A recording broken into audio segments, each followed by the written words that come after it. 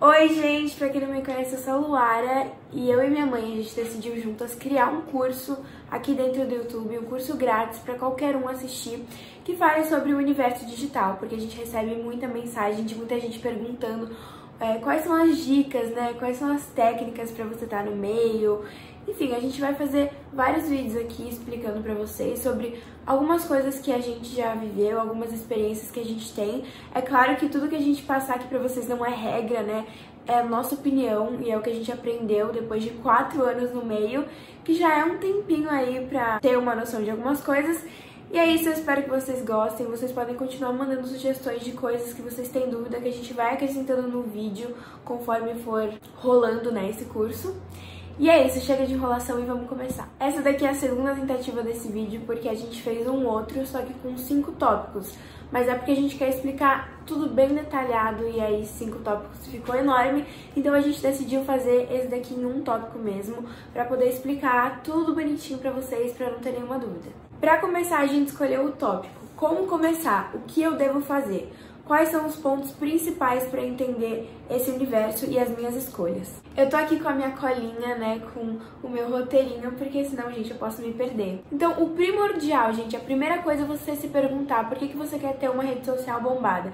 Se é porque você quer ser famoso, simplesmente só por isso, ou se você quer engajar a sua profissão, tipo, passar o seu trabalho para as outras pessoas, tanto se você for cantor, se você for dançarino, se você for ator, alguma coisa assim, e aí você quer mostrar o seu trabalho na internet. Para engajar sua empresa ou seu negócio, por exemplo, um dentista que começa a trabalhar nesse meio, ele quer mostrar serviço, né? Então ele quer atrair clientes através da internet, que é uma coisa que funciona muito. Ou porque você quer influenciar as pessoas digitalmente. Esses são os quatro básicos assim que a gente conseguiu definir. Depois que você decidir por que, você quer estar nas redes sociais, você precisa direcionar ela para um foco. Como eu dei o exemplo, né, de um dançarino, de um cantor, você pode usar a internet para postar os seus vídeos mostrando o seu talento.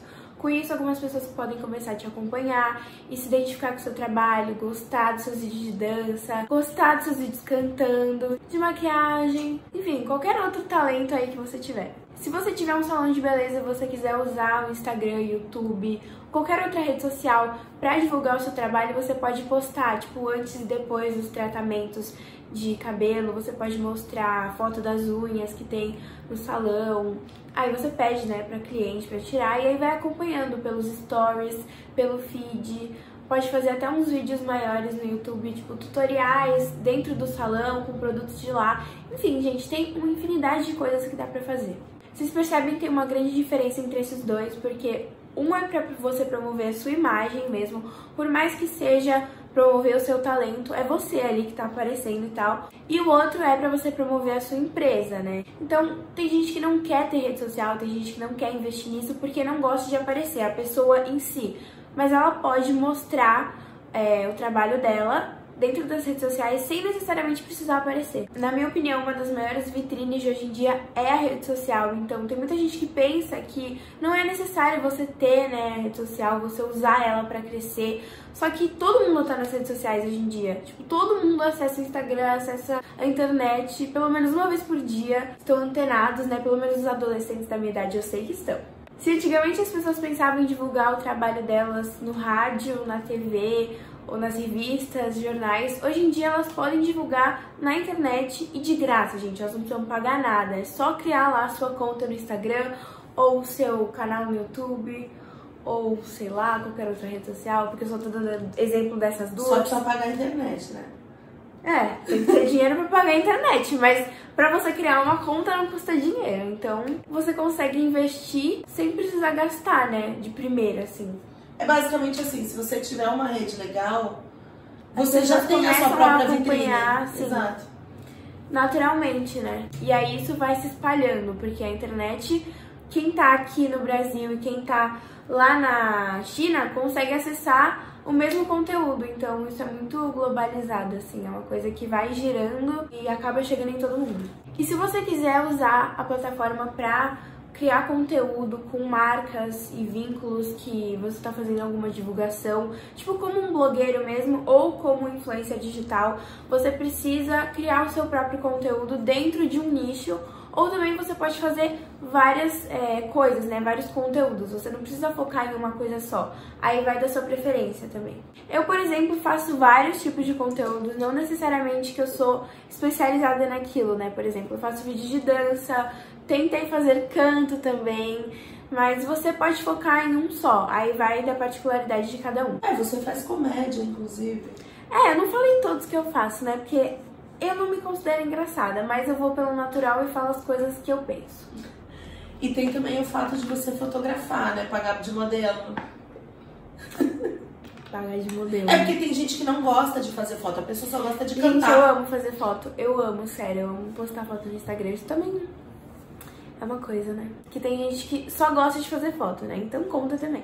Então você pode também estar lá na internet por pura diversão e tá postando. Tem até essa função no Instagram, né? Você coloca lá. Sim, tem É uma minha. categoria que é por pura diversão. Tem várias lá, né? Acho que é Creator, por pura diversão. Não, tem create, tem, tem mais de. Marca. 20. Ai, tem um monte de coisa, gente. Comercial. Por exemplo, tem, tem jornalista. Tem, Tem, tem muita coisa. Tem Depois você tem que ir lá, porque a gente esportista. não vai lembrar agora todas, né? Depois que você definiu o que você quer fazer dentro da rede social, você começa a criar conteúdo pra bombar na internet e ter a sua vitrine bombada. E aqui vão algumas dicas para ajudar vocês a dar visibilidade no conteúdo. A primeira coisa é você ter certeza absoluta que aquele conteúdo que você está criando você vai consumir, você tá gostando de produzir, porque é muito importante que você veja aquilo e fale: Meu, tá muito legal, vou postar, assistiria. Sabe? Eu acho que isso transmite uma energia melhor e você também tá criando com prazer. Além disso, é uma forma de você saber se o seu conteúdo realmente tá bom. Sim. Porque às vezes a gente faz umas coisas e a gente não se convence É. muito. Aí a gente posta só por impulso, assim, tipo, ah, fiz, vou postar. Vou postar por postar. Agora, quando você tem certeza, nossa, eu amei isso. Sim. Ó, pode ter certeza que você vai encontrar outras pessoas que vão gostar também. Tipo, eu postei um vídeo hoje no meu canal, é que esse vídeo não vai sair no dia que eu postei o outro, né? Mas hoje, no caso, o dia mesmo que eu estou gravando, a gente postou um vídeo que eu dei dicas sobre resumo e tal. Eu não sei, tipo, eu acho que esse vídeo ele não é um vídeo que vai bombar, que várias pessoas vão gostar, mas é um vídeo que eu gostei de fazer e que eu assistiria. Então eu postei assim, sem me preocupar. E a minha mãe, por exemplo, já não gostou. Exato, mas porque não tem nada a ver com, meu, com a minha praia. é de assim. opinião, assim. Pode ser que outras pessoas também se identifiquem comigo e gostem desse vídeo. É, na verdade, não é que eu não gostei do vídeo. O Ela conteúdo não gostou, é, porque não tipo, interessa é de ela. escola, o conteúdo não tem a ver, né? Que minha é- mãe vai se interessar por Letterman. É, e o importante é exatamente isso que ela falou. Se ela gostou, outras pessoas vão gostar também. O importante é alguém gostar, entendeu? E você fazer o que você ama também é fundamental. Esse aqui é muito importante, você pesquisar qual é o melhor horário de postagem dentro da sua rede social. Não existe muito bem um horário padrão, na verdade isso varia de pessoa para pessoa. Tem público que prefere um horário, tem público que prefere outro horário, mas é só você ir fazendo testes para ver qual engaja mais, não necessariamente de curtida, mas de comentário, qual tem mais é, retorno, qual as pessoas interagem mais, entendeu? Então você vai fazendo testes, procurando vários horários para você se encaixar. Pode ser que isso mude com o tempo, porque seu conteúdo pode mudar, o seu público pode mudar, então você tem que fazer esse teste de tempos em tempos. Mas eu tenho um horário padrão, que eu acho que é meio-dia e seis horas, né? É o 11, entre 11 e meio-dia e 6 e 7 da noite. É um horário que eu gosto de postar, que o meu Que público tá muitas mais ativo. Muitas vezes eu não posto, tipo, ontem postei uma foto acho que 10 e meia da noite. É que você não pode ser escravo também de tudo isso, né? É, não, gente, isso é só uma base, é só uma ideia. Você não precisa seguir necessariamente isso, é só uma ideia. O próprio Instagram tem uma ferramenta que você consegue ver Sim. qual é o maior, melhor dia, o melhor horário e tal. E aí vocês têm que fuçar e aprendendo também com tudo isso vai melhorar o engajamento de vocês. Tenha frequência nas suas postagens, tanto no Instagram quanto no YouTube. Eu só consigo dar esses dois exemplos, é impressionante. Eu posto, no mínimo, acho que uns 10 stories por dia. Tem dia que eu posto menos, tem dia que eu posto mais. Tem dia que me dá louca, eu posto um monte de stories. Tem dia que eu esqueço, ou às vezes não tem nada pra mostrar, né? Mas tenta manter uma média. Postar duas, uma foto por dia. Quando puder, fazer de vez em quando uns vídeos mais elaborados pro IGTV, porque é uma interação mais legal. É uma plataforma do Instagram, né, que cabe vídeo de mais de um minuto. Acho que todo mundo já conhece o IGTV, que não é mais tão novo assim. E no YouTube postar pelo menos um vídeo por semana. Se você conseguir entrar nesse ritmo, você pode ir aumentando a frequência também. Que quanto mais vídeos você posta, melhor fica o seu engajamento e o seu público acaba entrando mais no seu canal pra ver se tem vídeo novo. Isso tudo é construído com calma, viu, gente? Tem que ter paciência. Não é assim, tipo, ai, ah, fiz um vídeo durante três semanas assim e até agora não veio resultado, vou desistir. Gente, eu tô há quatro anos no meio e não foi fácil. Não foi fácil, sendo que eu ainda tenho a ajuda da minha mãe. Prestem atenção numa coisa muito importante na hora de você divulgar o seu trabalho. Usem hashtags, tá?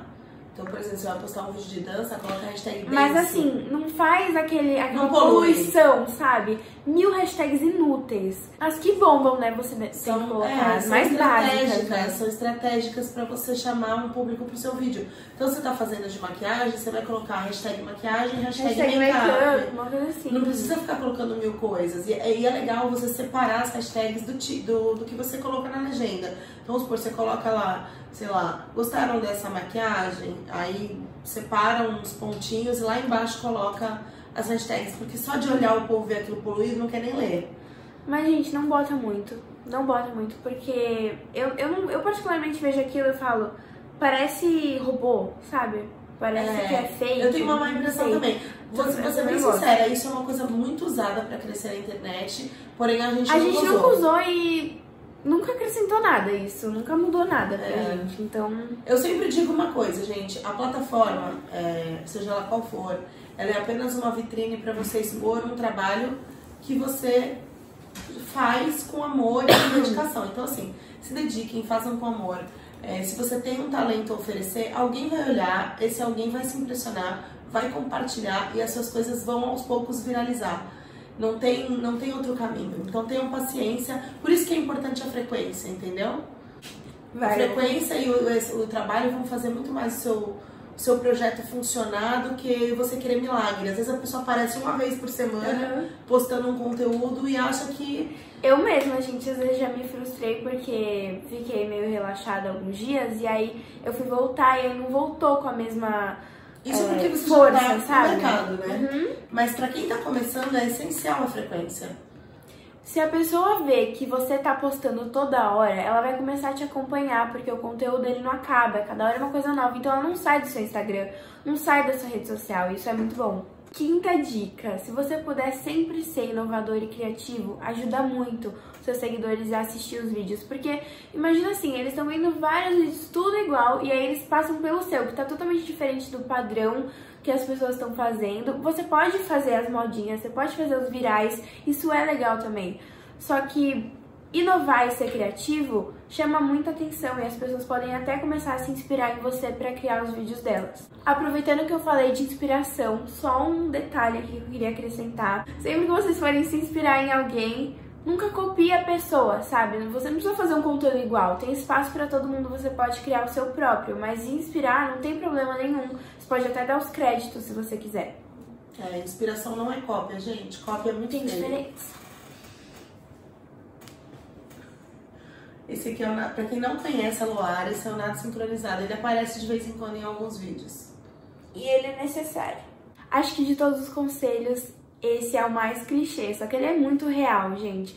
Você tem que ter a sua identidade, seja você mesmo. Essa frase todo mundo fala, mas ela é necessária, porque se você tiver a sua identidade, se você acreditar no seu conteúdo, se você gosta daquilo que você está produzindo, você vai encontrar outras pessoas que também gostam, como a gente falou um pouquinho antes aí no vídeo. Então, continua persistindo naquilo que você acredita que uma hora vem, depois de muito trabalho, o resultado sempre chega, gente. Você colhe aquilo que você planta. E é muito importante dizer também que essa frase, que é extremamente clichê, a gente, a, a gente vê ela não acontecendo o tempo todo. Muita gente que não, não se posiciona e acaba fazendo esse copia e cola. Ou fazendo... Que não tem a própria opinião, que não tem a própria identidade, não, é, não acaba vira, fazendo sabe? só o que viraliza, mas a pessoa ela não tem.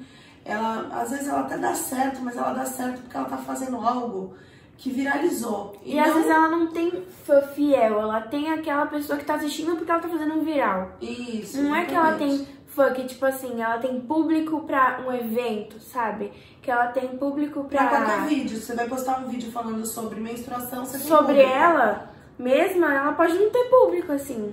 Só sobre assuntos polêmicos. Então, assim, a gente tá falando isso porque é muito importante a gente ter consciência de trabalhar nossa mente enquanto a gente está trabalhando. Porque esse meio, ele carrega um pouco também de ilusão, né? Então não tem problema nenhum você fazer conteúdo é, viral. É, claro que você pode fazer, equilibrar, né?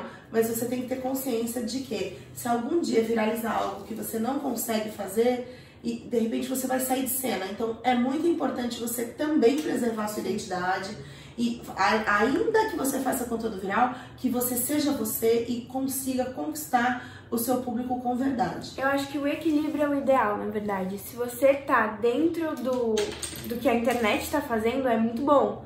Porque as pessoas estão te acompanhando e estão vendo ali que você tá antenado. Mas se você também tiver a sua identidade, é muito bom porque você acaba é, cativando né, as pessoas que se identificam com você. Eu sou até um exemplo disso, porque quando eu comecei há quatro anos atrás no YouTube, eu tinha acho que eu tinha 10, 11 anos, 10 para 11, né? Então eu falava muito baixo, eu sempre fui muito, não, diria desanimada, mas eu não sou uma pessoa que grita, que fica assim no vídeo inteiro. E esse era um pouco padrão do YouTube, sabe? Falar alto, falar mais claro, assim, a pessoa se expressar mais.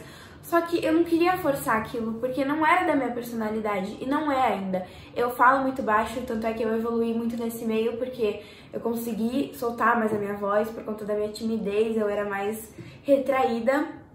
Mas eu fui me acostumando e hoje em dia eu continuo tendo minha identidade de sempre. A gente conseguiu persistindo, não, a gente continuou persistindo naquilo que a gente acreditava, né, que é a naturalidade e hoje a gente tá aqui.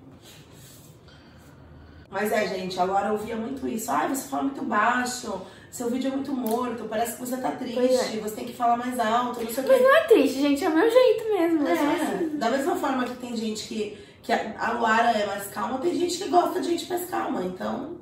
Tem gente que comentava nos meus vídeos criticando, mas tinha gente que comentava dizendo que Adorava. preferia. Tipo assim, nossa, essa menina é tão calminha, bem melhor pra eu assistir do que aqueles youtubers que grita. Mas, gente, é opinião.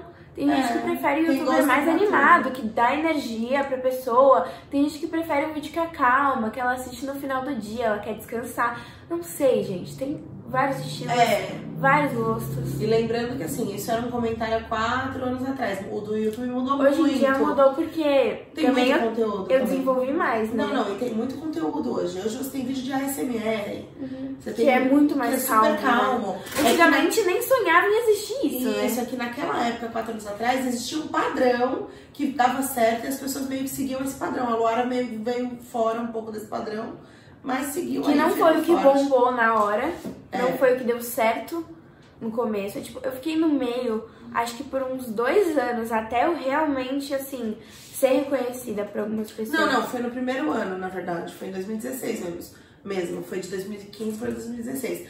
Mas a questão é essa.